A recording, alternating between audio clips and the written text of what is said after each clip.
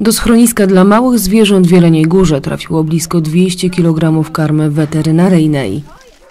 Gest, ukłon, coś wspaniałego. To, co żeśmy dostali y, z Rotary Klub, to najpierw mnie zaskoczyło, o rany, kto nam chce pomóc i to w jakiej ilości. I teraz jest to, zobaczcie, widać, y, to jest naprawdę bardzo dobra karma. Z inicjatywą y, pomocy schronisku wyszła nasza młodzież z Interaktu, która zapoczątkowała zbiórkę pieniążków na, na karmę. Usłyszałem e, w telewizji, że, że schroniska e, dla zwierząt stajnie potrzebują pomocy. Rzuciłem temat do, do, e, do naszej grupy interaktorskiej.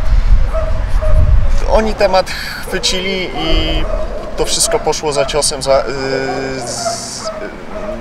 no, zamówiliśmy około 16 worków karmy, tak jak tutaj widać na załączonym obrazku. Zajmujemy się i zwierzętami, i ludźmi. Pomagamy wszystkim tak naprawdę. A to jest chyba najlepszy sposób, w jaki możemy w tym momencie pomóc.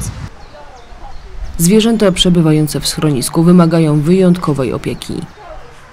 Nasze psy przeszły sporo. To są seniorzy, to są psy po jakichś tam traumach, po takich sytuacjach.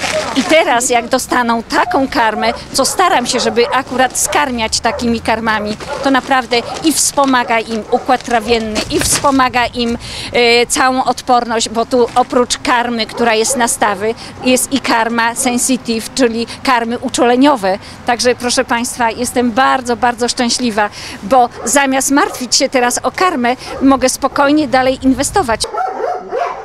Obecnie w jeleniogórskim schronisku powstają izolatki dla najbardziej chorych zwierząt. Do tego tematu na naszej antenie jeszcze powrócimy.